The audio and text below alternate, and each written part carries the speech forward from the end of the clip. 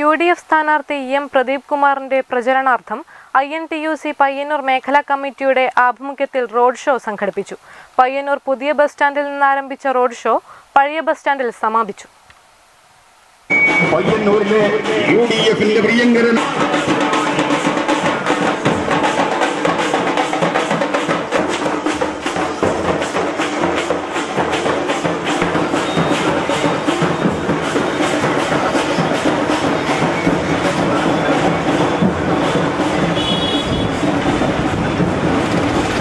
Oh.